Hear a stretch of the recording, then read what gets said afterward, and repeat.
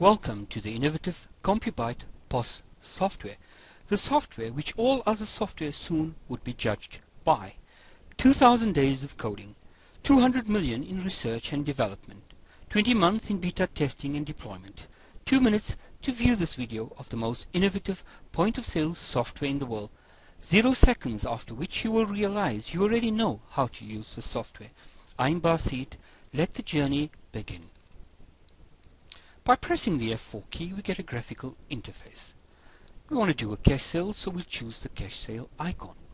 You now scan the item.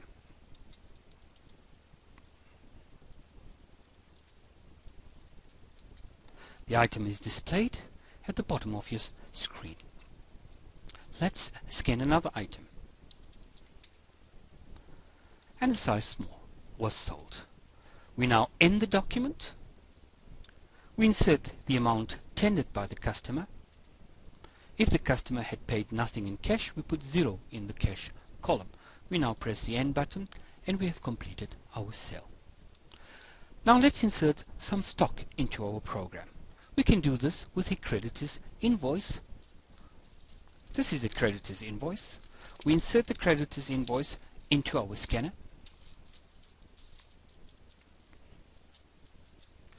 You close the scanner and press the scan button. You now press the F4 key to get your graphical interface. You insert the scanned document number. All the items that you have scanned are now displayed on your screen. You now end the document. You confirm the date of the document you confirm the creditor's document number, you confirm the VAT value. You then choose to print your labels.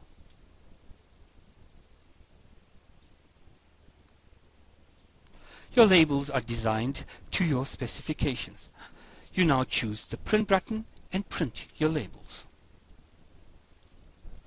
Once your labels are printed, your stock is updated and presto, you have completed inserting stock into your program.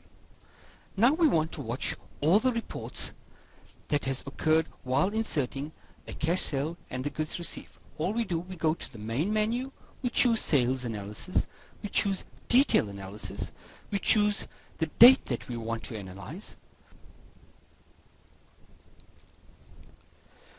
You'll notice all the items sold, all the documents made out are all listed in the various columns. To view the crystal report, we click on crystal report. We can now look at a transaction report of all the items that we sold.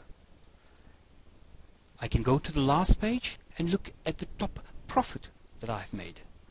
Look at a graphical analysis of the top 50 that I sold. I can also get a summary of the items that I sold and the profit that I've made. I can close the report and I've completed.